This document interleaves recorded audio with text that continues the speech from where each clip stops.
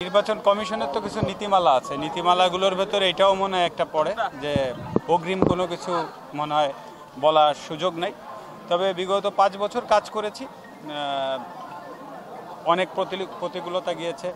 আপনারা জানেন করোনার মতো মহামারী গিয়েছে, তারপরে অর্থনৈতিক মন্দা সারা পৃথিবীতে চলছে। সব কিছুর ভেতর দিয়ে পাঁচটা বছর গিয়েছে।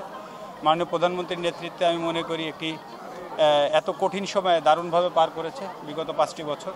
আশা করছি ইনশাল্লাহ এবার সব কিছু ঠিকঠাক থাকলে কাজের প্রক্রিয়া বা ধরন আরও বাড়বে এবং আরও ভালো হবে। না, খেলাধুলা তো আসলে আমার ব্লাডের জিনিস, একদম রক্তের ভেতরে খেলাধুলা। সুতরাং খেলাধুলার সাথে আমার মনে হয় না যে একজন সংসদ সদস্য হিসাবেই খেলাধুলার সাথে থাকতে হবে। খেলাধুলা তো আমার পরিচয় খেলাধুলা দিয়ে, সুতরাং আমি খেলাধুলার সাথে আমি মনে করি না সংসদ সদস্যের মানে মিলানোর কোনো সুযোগ আছে। অবশ্যই খেলাধুলার সাথে আমি যতদিন বেঁচে থাকব, অবশ্যই থাকব ইনশাল্লাহ